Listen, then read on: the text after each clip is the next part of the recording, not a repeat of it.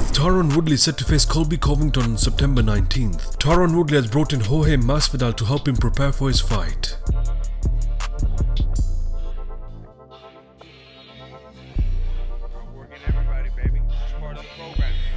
Just in case you've been wondering about the rumors and stuff, they're mother true. I We're at beat it your again. too. Tell them, baby. Where we at, man? We at ATT Evolution squadding up, getting some work in.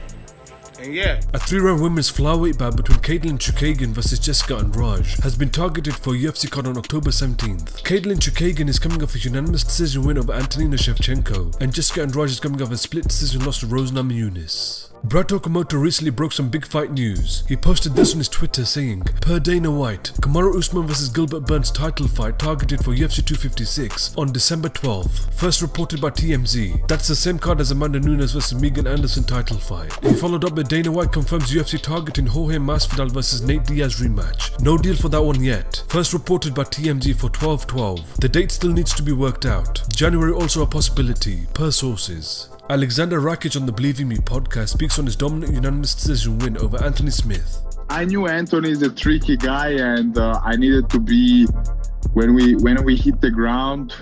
I needed to be very patient and uh, very focused because his grappling is and his jiu-jitsu is very good. You know, he took my back twice. I mean, he took my back in the first round, but uh, I've been training this so many times with my grappling coach and when he takes my back there is no escape. So i'm getting a little bit used to this.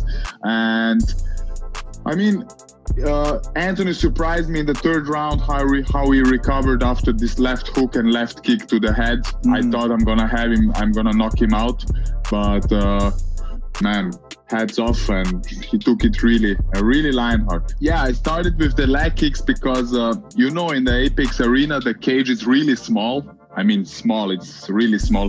So I started with the kicks. I want to to to to hurt him. I want to slow him down a little bit, and then uh, yeah, I dropped him with the kicks.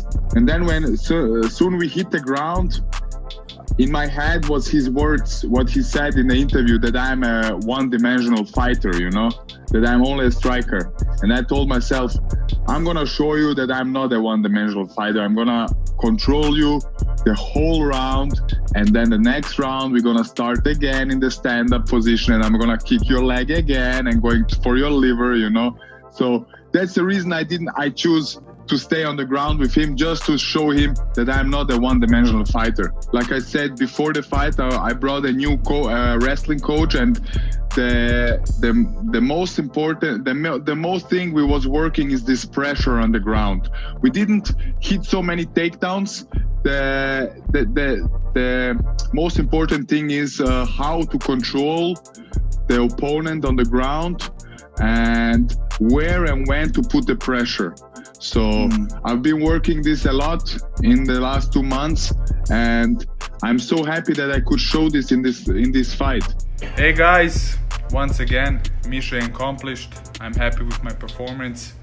My coaches, Babak, Roberto, Yuri, Richie. We're spending uh, the night here. We're gonna get some pizza, some cola, and watching the fight. Thank you for your support. Yeah! Hvala za podršku. Hvala. Danke für eure Unterstützung.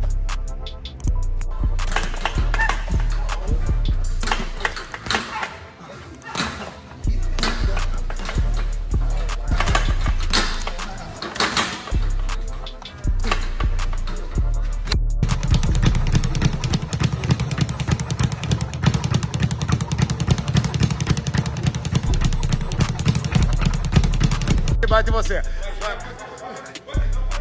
Boa. É teu, campeão. É teu, campeão. É teu, campeão.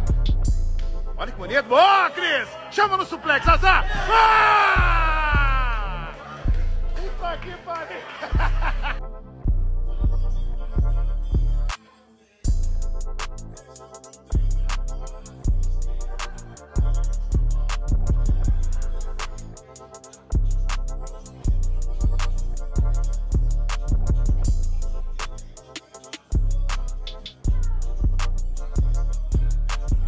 Kenny Florian on the Anik and Florian podcast speaks on Aleksandar Rakic's unanimous decision win over Anthony Smith. Well, I, I, thought it was a smart performance, and I think that a lot of people, including myself, didn't realize that uh, he was a much better wrestler, grappler than we had anticipated. And I think that, you know, uh, when we were breaking this fight down, we said, "Hey, listen, Rakic is probably the better striker, no doubt about that. Way more dangerous on the feet, perhaps, than Anthony Smith. But if it goes to the ground, this is where Anthony can really uh, take advantage, and that just never came to fruition. Whether it was uh, any positions that he had on top, which weren't many.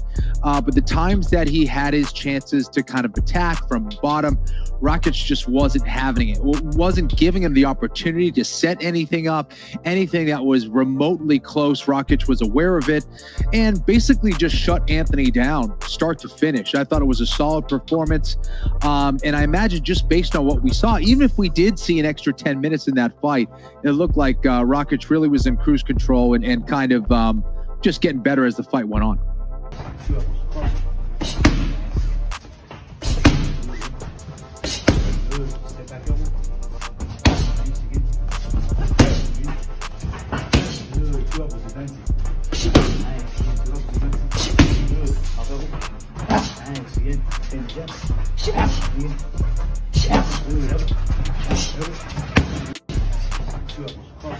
Quatro!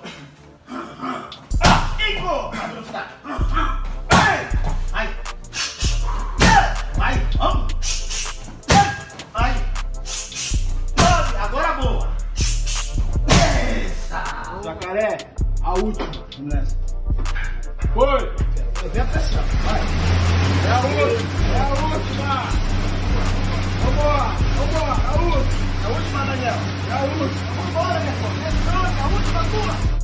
up, guys? I just want to say thank you to all the kind messages that everyone has sent me and all the experiences everyone is sharing with me.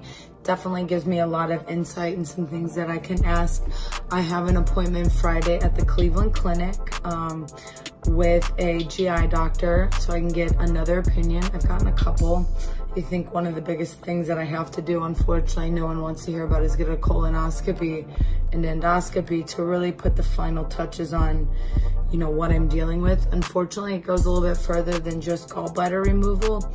Um, and I think that that's where I um, need to stop being so hard-headed and, and get checked out. Just that little extra. So I appreciate everybody and it means a lot. I heard every wonderful positive thing um, that all of you sent me.